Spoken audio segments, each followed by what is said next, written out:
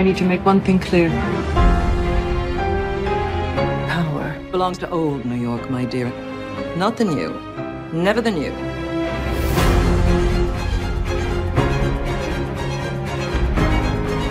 The old have been in charge since before the revolution. Until the new people invaded.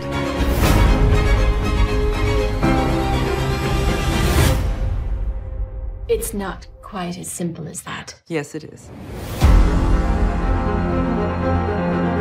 Let the tournament begin.